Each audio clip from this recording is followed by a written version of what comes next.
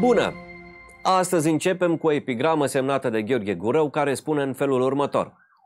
Transmitem azi de la Avrig, se joacă un meci cu miză mare, pe stadion e ploaie, frig, aici, la microfon, e soare. Ziua Mondială a Radioului a fost proclamată la 3 noiembrie 2011 în cadrul celei de-a 36-a conferințe generale a UNESCO pentru a fi marcată anual la 13 februarie.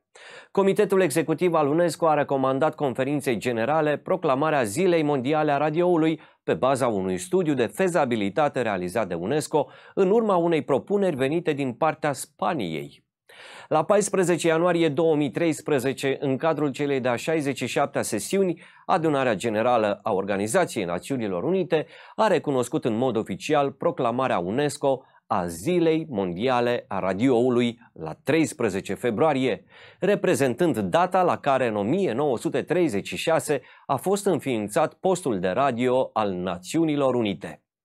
Ziua Mondială a Radioului este marcată pentru a promova cooperarea internațională între radiodifuzori, dar și pentru a încuraja accesul la informație prin intermediul posturilor de radio de pe întreg globul.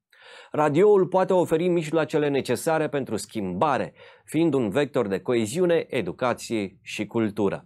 El reunește oameni și comunități din toate mediile și promovează un dialog pozitiv în susținerea schimbării.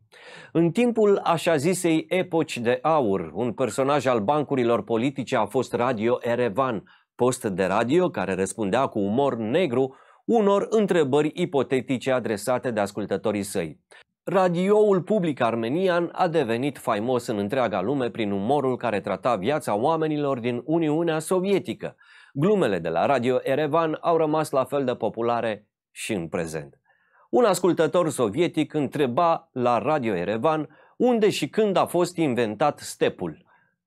Radio Erevan răspunde, stepul a fost inventat în Uniunea Sovietică și a fost pentru prima dată folosit în familia lui Stepan Stepanovici Stepanov, care avea 10 copii și o singură oliță de noapte. Dana Petrei sunt și am transmis din studioul Jurnal FM.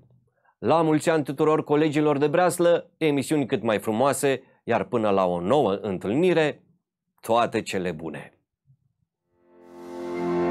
Thank you.